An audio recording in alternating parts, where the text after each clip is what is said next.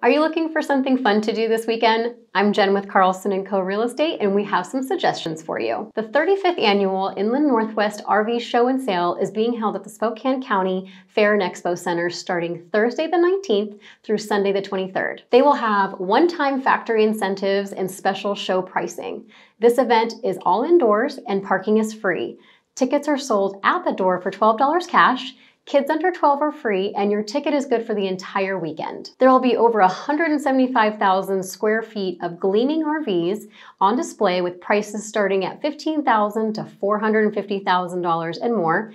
Factory reps will be on site to answer all your questions. Over in Post Falls, Idaho, Ace Hardware is holding a winter craft event. Bring the whole family for some free fun. Enjoy some hot drinks while making all kinds of winter-themed crafts with popsicle sticks. All ages are welcome and it's completely free. No tickets or reservations are necessary.